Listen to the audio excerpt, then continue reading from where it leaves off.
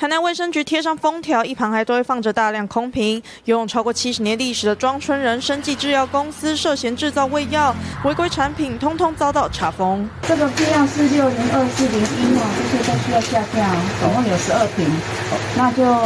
在厂商还没有回收以前就。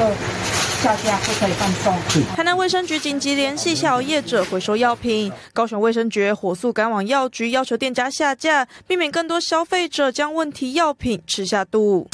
卫福部中医药司也公布问题产品清单，会这么大动作处置，是因为药物的生产过程大有问题。GMP 药厂就是要在药厂里面做，做药一定要在药厂里面做，结果他包给食品厂来做，所以完全不符合药事的规格。位于台南的庄春人生技公司专门制作传统中药，但却将制成委托给非 GMP 核准的食品厂，一共生产了人参、固醛丸、紫云膏等十二种常见的中药成药，而这些非法药物最后通通流向药局或中药行贩售。那未经过核准就擅自制造的药品属于伪药，那医药师法规定呢，制造伪药者得处啊十年以下有期徒刑，每并科一亿元